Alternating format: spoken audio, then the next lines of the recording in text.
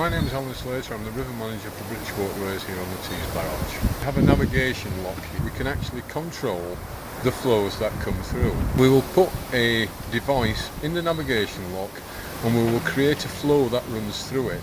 This flow is as near as the natural environment that these tidal turbines would envisage out at sea. So it's about how to create that type of flow within a location that's inland. Wind power, the wind blows, you generate electricity. With tidal power, the tides are always there. They are a constant source of energy. We have a massive tidal range around the British Isles, so it's how we capitalise on that. The do think about an Olympic-sized swimming pool, you can fill it up in less than a second with the flow that's coming down the River Tees. So that is serious energy because there isn't that many test centres like this, there's so much interest in the northeast which we could benefit from.